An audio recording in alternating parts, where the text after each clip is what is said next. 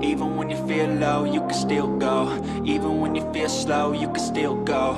Even when there's no hope, you can still go. I never answer to no, man, I still go. Go, go, go, go, go.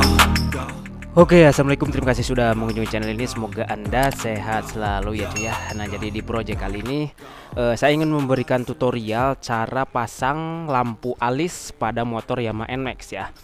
Jadi di sini sudah saya siapkan eh, alisnya ini pakai AS ya tentunya yang grade A biar bagus ya hasilnya.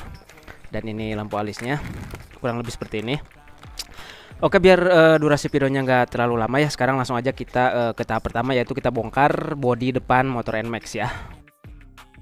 Oke cuy jadi langsung kita bongkar aja semuanya ya termasuk dari windshield eh, bodi depan ya ini jadi kita bongkar full untuk buka eh, head ya headlamp lalu kita buka baut yang untuk ke headlampnya ini pakai obeng ya obeng plus lalu kita buka baut yang di samping kanan dan kiri ya nanti pakai kunci L4 lalu buka baut panel samping ya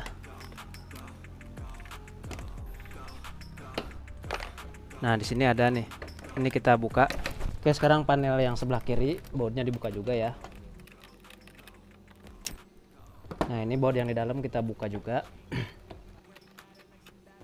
Lalu kita buka eh, klip pengancing yang ada di bawah ini ya. Kiri dan kanan ya. Nah, setelah bautnya semua terlepas, sekarang tinggal kita lepaskan aja buat di depannya ini ya. Lalu kita lepaskan juga eh, eh, kabel-kabel atau soket yang nyambung ke eh, headlamp ya. Nah ini ya, jadi kalau soketnya udah terlepas, tinggal kita tarik aja seperti ini. Oke cuy, langkah langkah selanjutnya setelah ini terlepas ya, sekarang kita lepaskan eh, headlampnya dari body ya. Ini ada beberapa baut, pakai eh, obeng plus ya.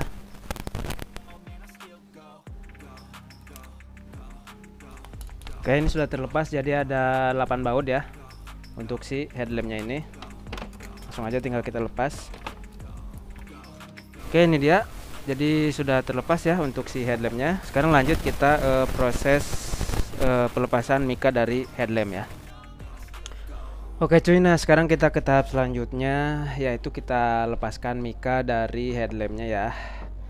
Nah di sini eh, saya gunakan eh, ini ya hair dryer. Sebenarnya lebih bagus itu pakai hot gun ya biar lebih kuat dan tentunya lebih panas gitu ya. Atau buat kalian yang nggak punya alatnya ini kalian bisa gunakan juga air panas gitu kan atau bisa juga eh, dipanaskan di atas kompor ya nah ini kita eh, putar-putar seperti ini ya secara keseluruhan biar si lemnya itu lunak ya atau encer. Soalnya kalau yang headlamp ini pakai lem ya, beda dengan yang stop lamp. Kalau stop lamp kan nggak pakai lem, cuman klip-klip aja gitu. Nah ini kita panaskan seperti ini secara terus menerus sampai eh, biar si lemnya itu lunak ya. Nah dicongkel pakai eh, obeng min ya.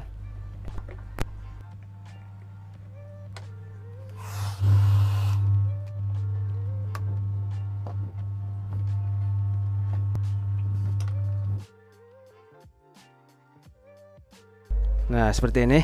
Ini hati-hati lemnya jangan sampai luber ke mana-mana ya. Jadi kita simpan. Nah sekarang kita ke tahap selanjutnya ya. Jadi di sini kita lepaskan framenya. Ini ada berapa baut ya Nah ini ya jadi ada 5 baut Untuk framenya langsung kita lepaskan aja seperti ini Nah untuk selanjutnya sekarang kita siapkan eh, LED alisnya ya. Di sini saya menggunakan DRL LED alis fleksibel merek AS ya. Saya beli yang ukuran 60 cm ya. Jadi nanti ini bisa kita potong-potong aja. Ini saya pakai yang warna putih ya cuy ya. Sekarang tinggal kita ukur aja. eh, Kira-kira kita butuh berapa senti ya. Karena nanti ah, saya akan pasangnya itu yang model simple aja, yang alis di atasnya ini aja ya. Satu, dua ya jadi kanan dan kiri yang bagian atasnya saja gitu kan kita ukur aja paling di sini saya sekit butuh sekitar nah kurang lebih sekitar 15 cm ya jadi saya butuh LED alisnya itu setiap sisinya itu kurang lebih 15 cm jadi langsung kita potong aja dulu nah jadi untuk cara potongnya itu kita buka dulu ya dari selongsongnya. Nah ini bisa kita lihat ya. Jadi kita lepaskan dulu dari selongsongnya. Nah kita coba ukur lagi. Nah ya sekitar 15 cm segini ya. Nah pas banget. Jadi untuk cara potongnya itu Kalau DRL LED alis yang grade A ya Ini setiap uh, resistor ya Jadi yang hitam ini. Jadi setiap samping yang itu Itu kita langsung potong aja Nah ini nih. Oke segitu ya. Sekarang kita potong uh, selangnya ya. Kita tandai langsung kita potong aja. Kita coba masukin. Kita coba tes. Oke nyala ya. Sekarang kita yang satunya ya. Nah kalau udah potong kita potong gini. Sekarang kita solder dulu aja ya. Kita sambungkan kabel Oke cuy sekarang kita ke proses pemasangan LED alisnya ya. Nah jadi yang pertama kita eh, siapkan framenya ya. Lalu kita tempelkan aja di sini. Nah kurang lebih nanti pemasangannya seperti ini. Nah kayak gini ya. Ini kita bisa bantuan pakai kabel tis atau pakai tali ya biar enak gitu nanti.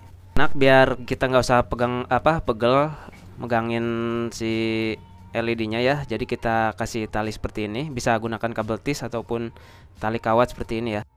Jadi ini tinggal kita lem saja.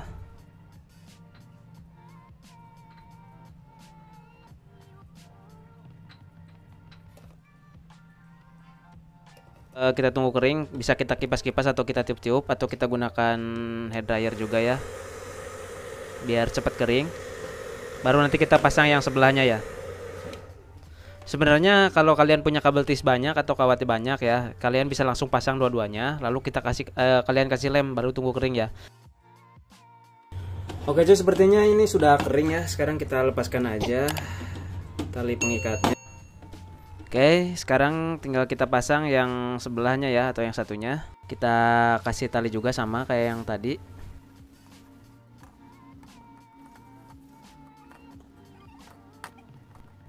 Baru sekarang kita lem. Kita kasih lemnya tipis-tipis ya.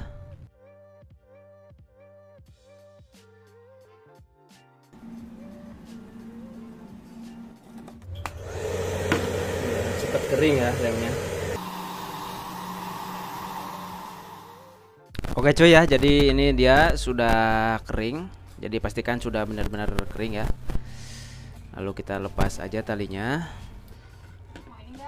Oke, sekarang kita coba tes dulu ya. Oke ya. Jadi bisa kita lihat di sini. Untuk alisnya udah nyala ya dua-duanya kanan dan kiri. Berarti ini bagus ya.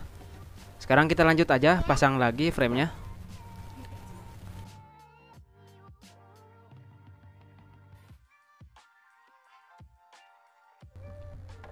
kedua kabel ini ya jadi antara kanan dan kiri kita paralelkan ya. Positif ketemu positif negatif ketemu negatif. Jadi kita uh, paralelkan lagi. Jadi kita buat satu kabel ya yang positif ke positif. Lalu yang uh, positif apa yang negatif ke negatif. Nah ya jadi sudah kita paralelkan antara positif positif negatif dan negatif ya. Ya jadi dari kedua alis yang kabelnya ini Sekali lagi kita paralelkan seperti ini ya. Ne positif ketemu positif, negatif ketemu negatif. Jadinya jadi dua kabel saja seperti ini. Nah, ini kita rapikan. Kita masukkan aja seperti ini. Ini kita di sini kita ganjel aja pakai apa kayak pakai solatip atau double tip ya. Kalau di sini saya pakai uh, double tip 3M ya.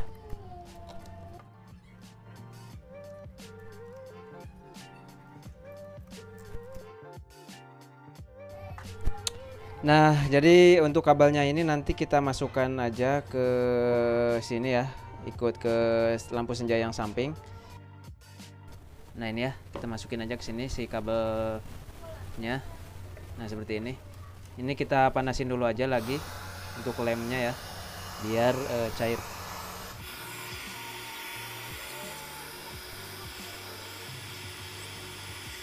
uh, kita pasangkan kembali mikanya ke re, ke reflektornya apa ke ya reflektornya ini bisa kita sambil panaskan lagi ya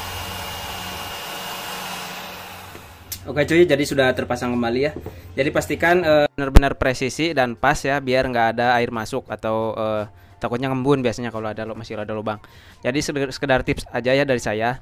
Uh, kalian bisa tambahkan lem di sini. Saya pakai gunakan lem kaca ya di sini nih, atau lem bakar di atasnya ini, biar air nggak masuk. Takutnya ya, kan namanya udah kita buka kan lemnya takutnya nggak kurang. Jadi masih ada lubang gitu ya. Jadi bisa ditambahkan lem kaca ya.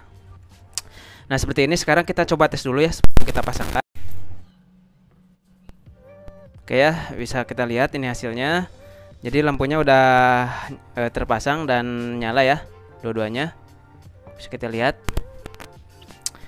Nah sekarang tinggal kita pasangkan kembali lagi aja di motornya. Oke ini cuy ya. Jadi sekarang kita pasangkan kembali Bodi motornya Plus beserta dengan eh, headlampnya ya. Dan sekarang kita pasangkan kembali ininya ya. Soket-soket lampunya Oke cuy jadi sekarang kita sambungkan kabel lampu alisnya ya. Nah jadi untuk lampu alisnya ini ya yang tadi. Jadi yang positif itu yang tadi yang warna merah ya. Nah yang warna merah ini kita sambungkan ke soket lampu senja kabel yang warna coklat ya untuk positif. Nah, terus untuk yang negatif yang warna putih ya. Ini ini sebenarnya warna hitam ya dari sananya. Cuman kabelnya saya nggak ada jadi warna putih. Ini kita masukkan ke kabel negatif ke soket lampu senja kabel yang warna hitam ya. Nah, sekarang kita colokkan. Oke cuy ya, jadi sudah terpasang semuanya ya. Untuk soket-soketnya juga sudah terhubung semua. Sekarang kita pasangkan kembali ininya ya, baut-bautnya. Oke cuy, jadi udah selesai untuk pemasangannya. Si ininya sudah terpasang juga. Jadi sebelum ditutup kembali kita coba tes dulu ya. E, apakah nyala atau tidak gitu kan. Nah, ini bisa kita lihat. Jadi kita coba tes dulu semuanya ya. Oke untuk sen nyala Lampu utama Hidup Lampu tembak hidup Semuanya hidup ya Nah baru sekarang kita pasang kembali Oke cuy jadi udah selesai ya e, Pemasangan LED alisnya ya Ini dia. Seperti itu aja ya. Sudah terpasang Dan seperti ini hasilnya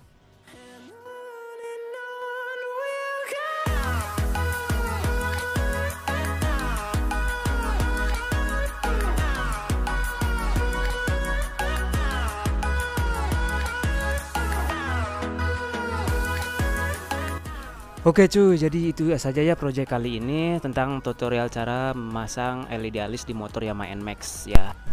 Oh ya cuy, untuk link pembelian LED alisnya nanti saya simpan di deskripsi atau sematkan di kolom komentar ya cuy ya. Oke, semoga video ini bermanfaat dan semoga Anda sehat selalu ya cuy ya. Oke, terima kasih. Assalamualaikum warahmatullahi wabarakatuh. Mantap. Salam maksi.